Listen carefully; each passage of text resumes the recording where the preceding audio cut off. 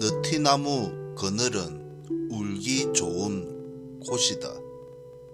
유, 은, 희.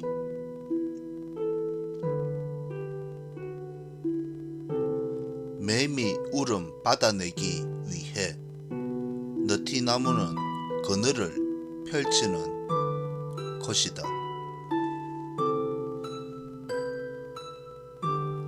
깊이 꺼내 우는 울음 다 받아주는 이 있어.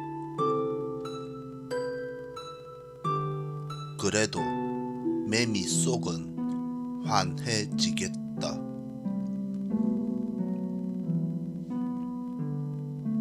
느티나무 발등 흥건하도록 누군가를 사랑한다는 건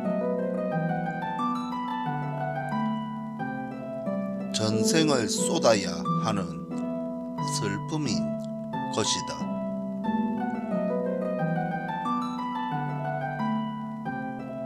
어깨가 넓은 느티나무 그늘은 울기 참 좋은 곳이어서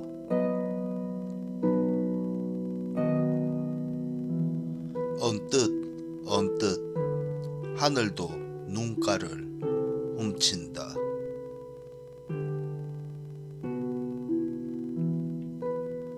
느티나무도 덩달아 글썽해져서 일부러 먼 산에 시선을 메어두고 있다.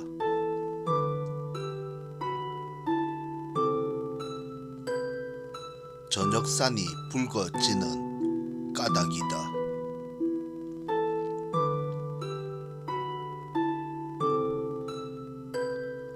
느티나무 어깨에 기대어 울은 송두리째 꺼내놓고 나면 매미 허물처럼 가벼워질까?